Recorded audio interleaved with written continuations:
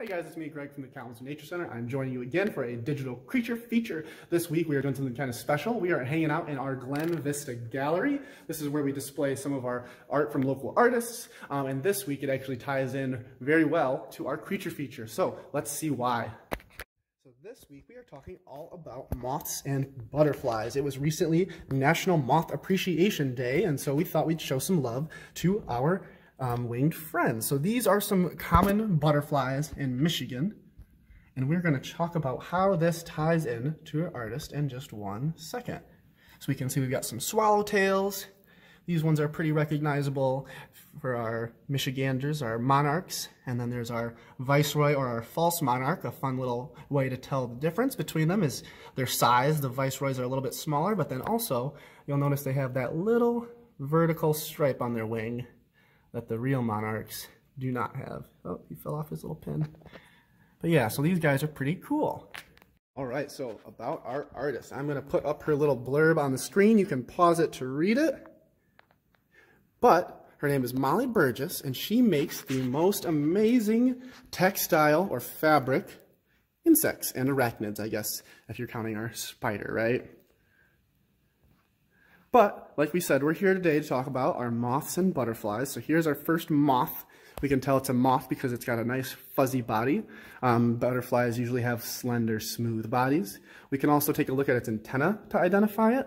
Butterflies have those knobbed antenna, and moths usually will have different types. They can be feathered, like this one. They can be branches. They can be little filaments. Um, moths have a very wide range of antenna. So thinking this is a moth. I don't know what kind. Here's Peter the snail. And I love his little shiny slime trail he's got going on. Here is a bumblebee. I like his little fuzzy body. This is another great pollinator, right? We know that moths and butterflies are also pollinators. They help get the pollen from the plant to the plant so that they are able to reproduce and go to seed. Here's another really cool moth, Venus the moth. Once again, we look at those feathered antennae. Another little slime trail on the banana slug. It's got some kind of crazy antenna and eyeballs. Here we have another arachnid, Simon the spider. He's got some really cool gold detailing on him. Here is one of my favorite types of moth that we're going to be talking about today, a Luna moth. So this right here is actually not too far off from their actual size. I've seen them um, about that big in comparison to my hand. So they can get pretty big and they're really cool to see. They uh, flying around. They almost look like a bat or a bird at night. So moths and butterflies eat primarily the same um, thing when they're adults, right? They eat, oh, this is awesome cicada. So cool but they eat nectar, right, when they're adults. Here's our monarch. But when they're larvae or their baby form, they have usually what's called a host plant. And so um, certain butterflies will lay their eggs on that host plant. Like we all know that monarchs love milkweed, um, and they will only eat that plant as a larva until they get old enough to um, go to their cocoon or their pupa. And after they become an adult, then they drink nectar. And some species of moths um, actually don't even have mouths at all. So they stop consuming food when they are larvae, and they actually just continue the rest of their life without eating anything else.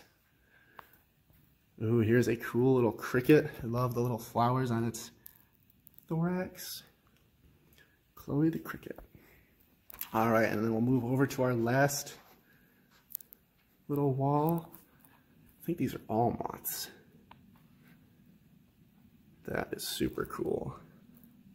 These sequins. Another moth with its feathered antenna, resting with its wings open. A lot of people don't know that that's a that's another indicator between a moth and a butterfly. is moths usually rest with their wings flat and open like this, but you'll usually see butterflies resting with their wings closed. Kind of like the difference between a dragonfly and a damselfly. This one is really cool. I love the little eyes on its wings watching you. Another little black moth. He's very fuzzy. All right, and then our very last one